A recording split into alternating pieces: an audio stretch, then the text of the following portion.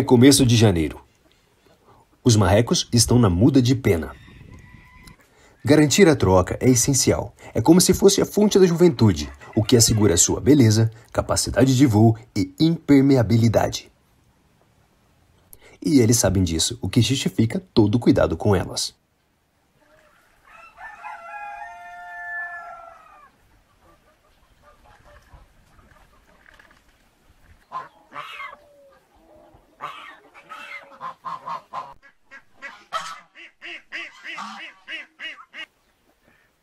Os marrecos domésticos podem viver em grupos ou em casais, onde ambos, na maioria das vezes, se escolhem e vivem juntos, mas isso não assegura que são casais monogâmicos. Mudanças de casais podem ocorrer ao longo de suas vidas. Há também machos que vivem em verdadeiro haréns, podendo conter mais de três fêmeas.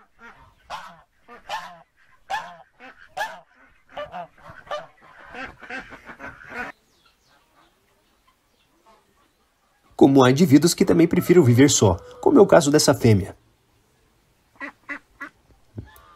Mas talvez ela possa mudar de ideia, já que há dois machos novos se preparando para o período reprodutivo.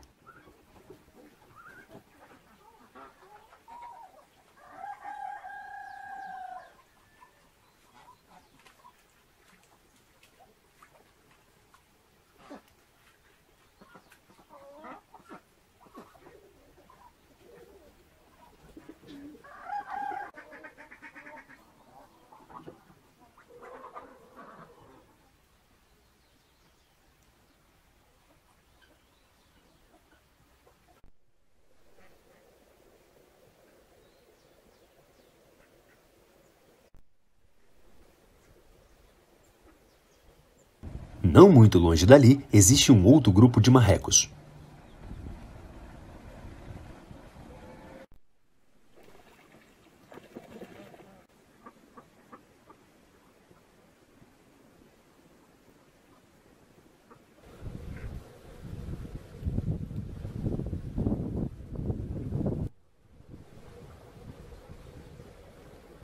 Estes vivem livres e um ótimo convívio com outros animais domésticos e também selvagens.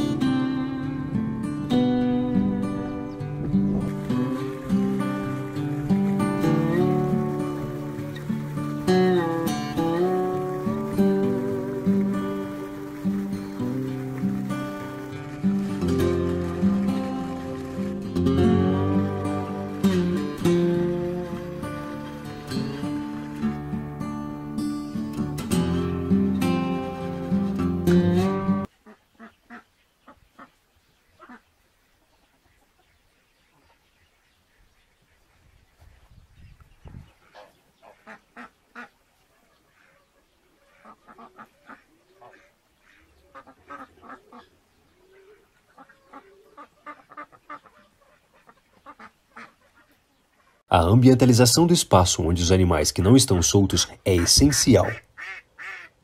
Isso ajuda no bem-estar, saúde e produção dos mesmos. É época de goiaba.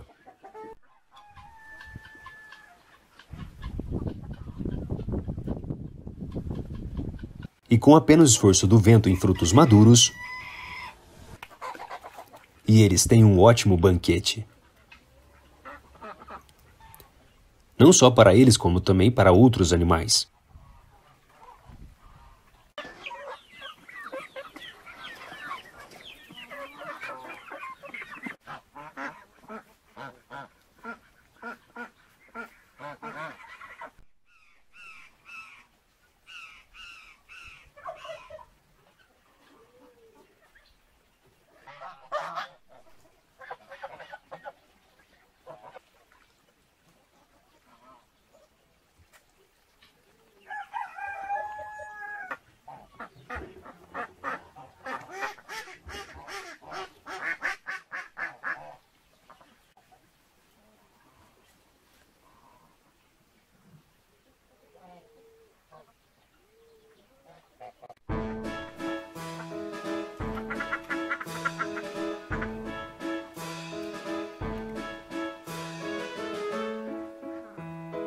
Há apenas um único lago artificial. E todos os grupos, dividindo com outras aves aquáticas, precisam se revezar para utilizá-la. Mesmo que alguns não concordem com isso.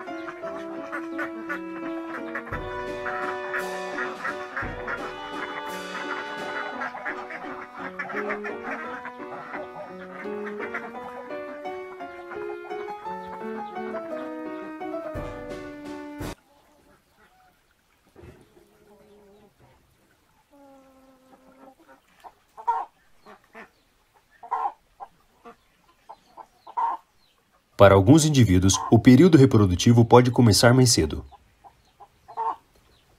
Muitos acreditam que os machos de marreco não possuem ritual de acasalamento.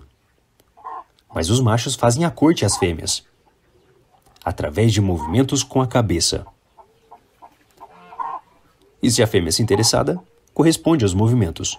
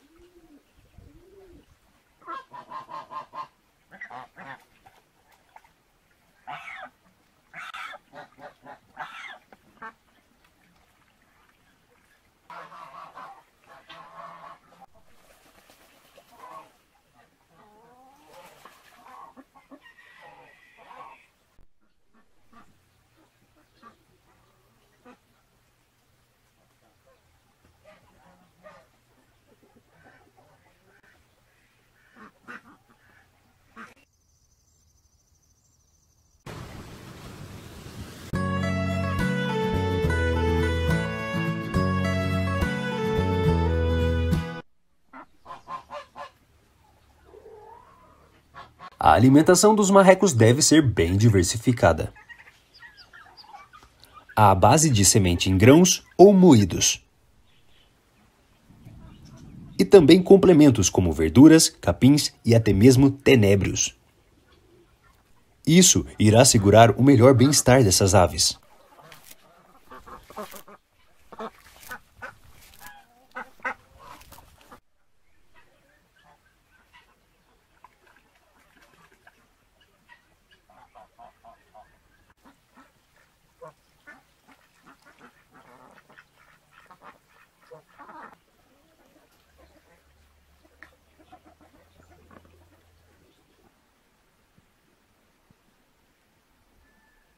Com uma diferença grande, os marrecos do lago já estão no período reprodutivo.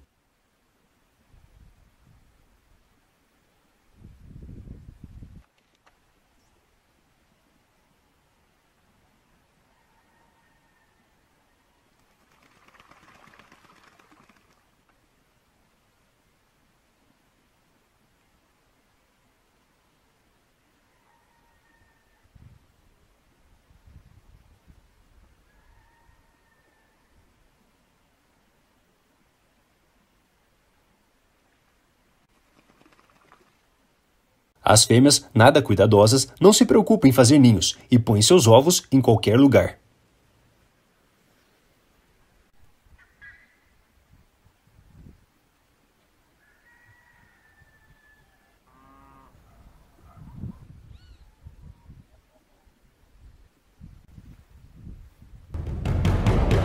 Viver em liberdade tem seus riscos. Predadores naturais estão por todos os lados, e animais domésticos acabam se tornando presas fáceis.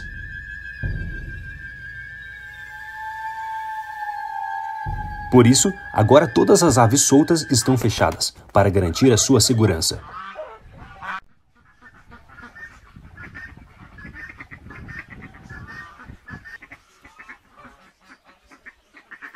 E isso gera um atrito enorme.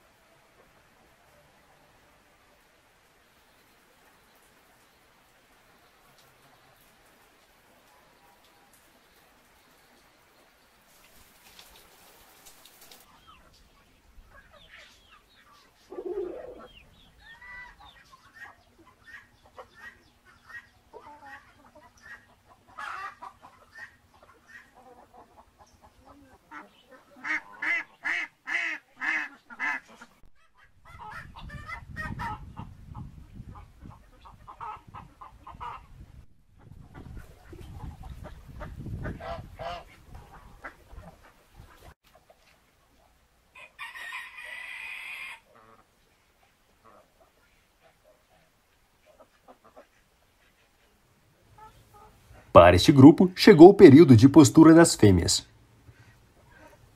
Ao contrário de muitas, estas fêmeas são bem dedicadas para garantir a segurança de seus futuros filhotes. Por isso, são muito exigentes quando o quesito é a escolha de ninho.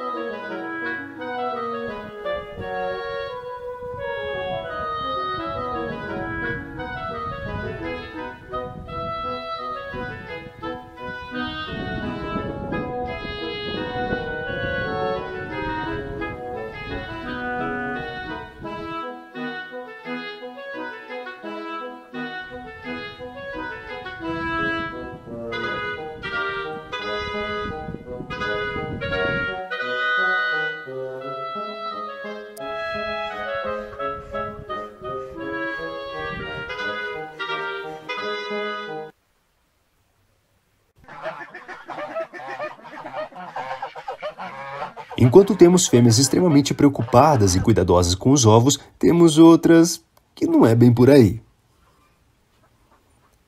Elas fazem a postura em qualquer lugar, danificando e comprometendo muitas vezes estes ovos. Porém, alguns desses recebem uma nova chance.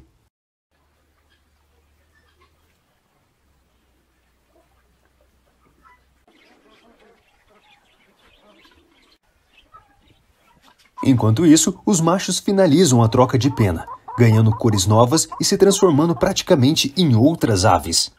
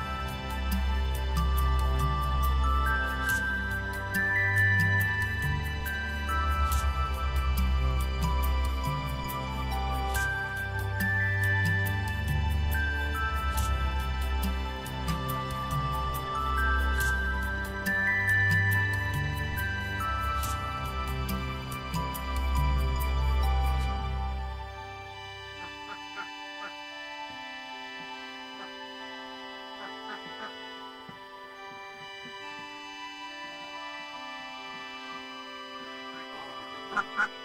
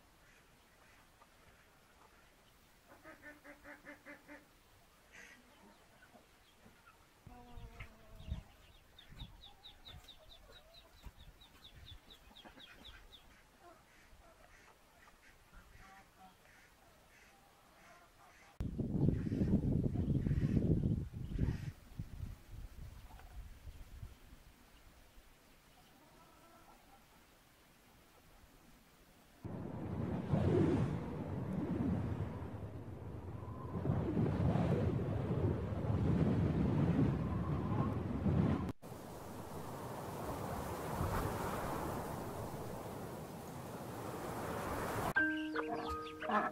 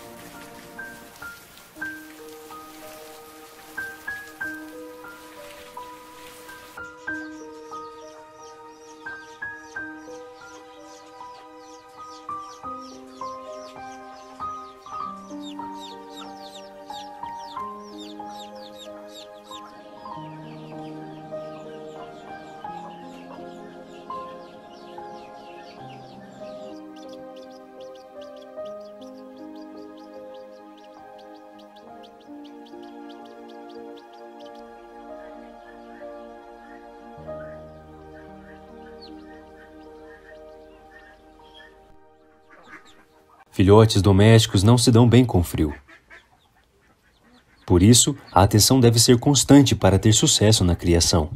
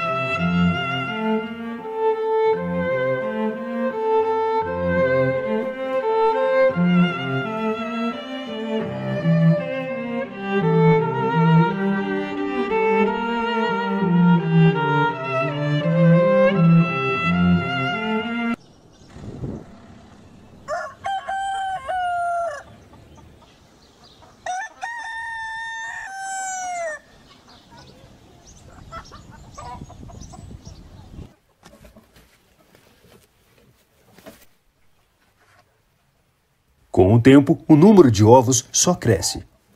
Estamos na alta temporada dos marrecos.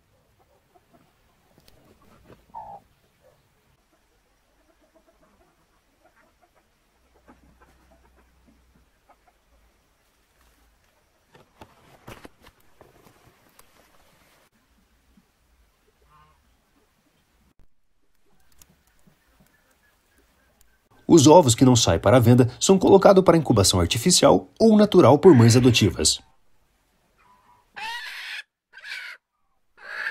Galinhas são excelentes mães para filhotes de aquáticos.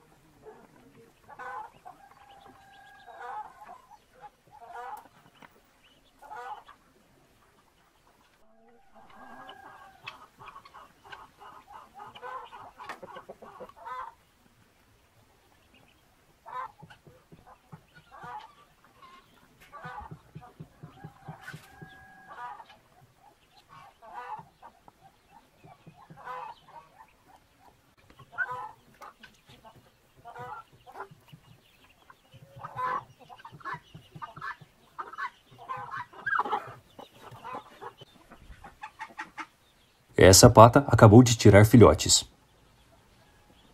Mas são todos de marrecos. Alguma fêmea deve ter posto seus ovos em seu ninho.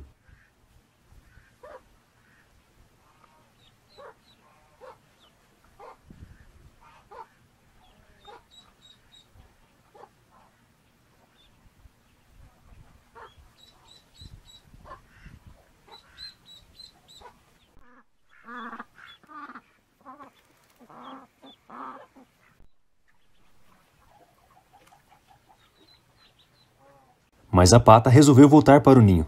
Ela sabe que seus ovos, que demoram um pouco mais para nascer, ainda estão à espera dela. A melhor medida é fechar esses filhotes de marrecos para garantir a sua segurança.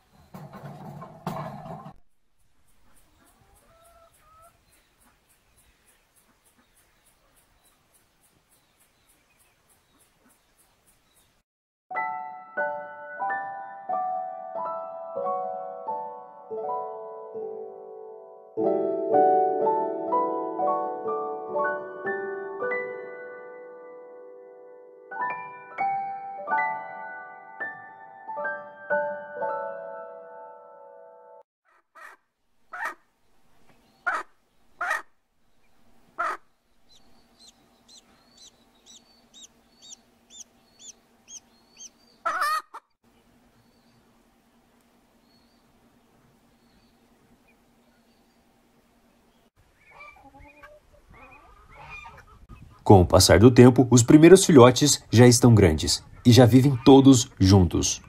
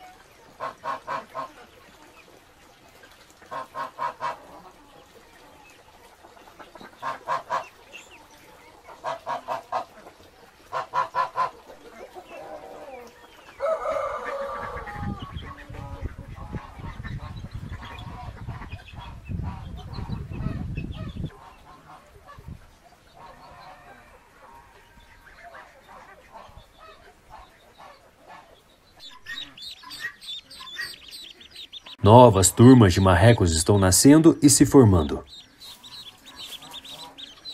Para eles, o tempo passa muito rápido. Os primeiros filhotes nascidos esse ano já estão prontos para reprodução. Podendo assim, no mesmo ano, marrecos ser pais e avós ao mesmo tempo. Para os machos, isso significa disputa com a presença dos novos paqueradores.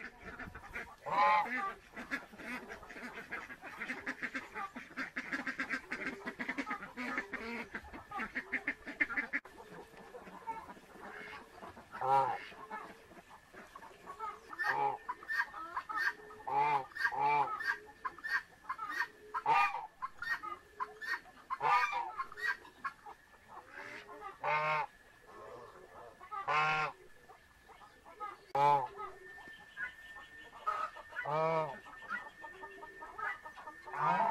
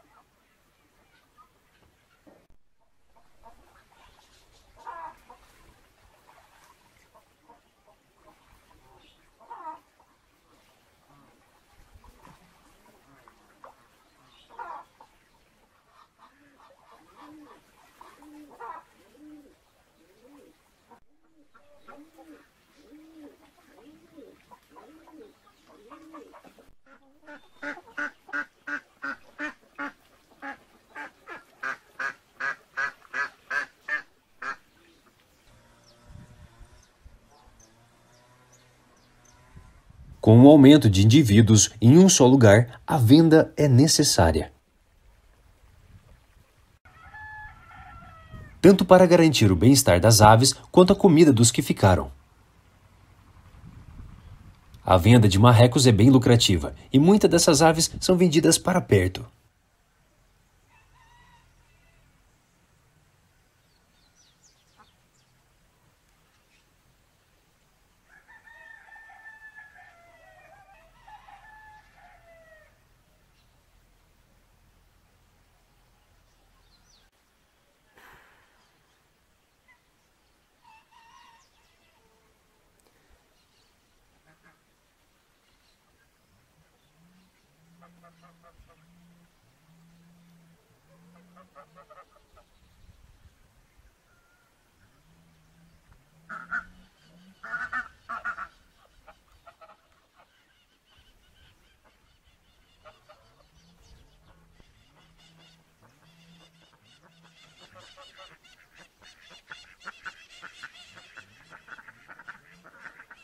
É bem comum na criação doméstica de marrecos ter a criação de outras aves aquáticas, como é o exemplo do pato mudo.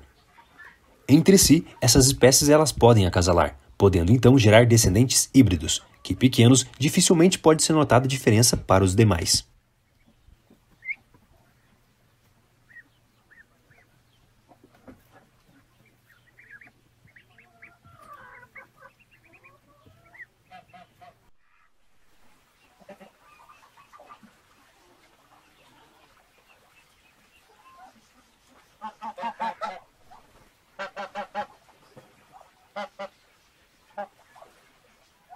Apesar de lindos e chamativos, esses híbridos não possuem fertilidade.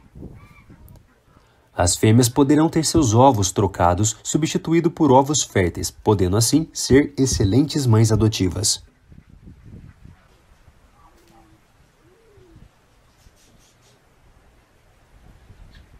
Já os machos podem ser sinônimo de problema na criação. Por acasalar com ambas as espécies, pode diminuir a taxa de fertilidade.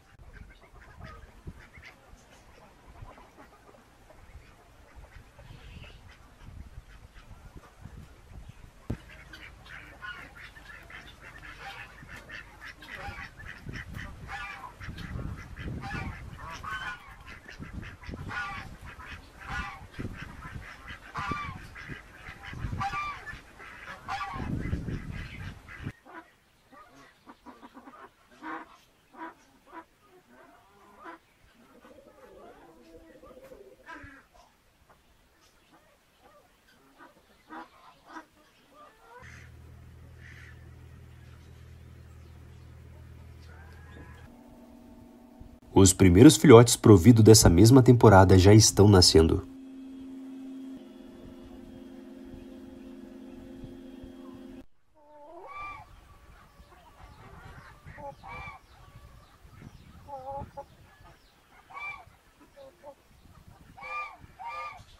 E ainda mais filhotes estão por vir. Continuando assim, um ciclo, um ciclo sem fim.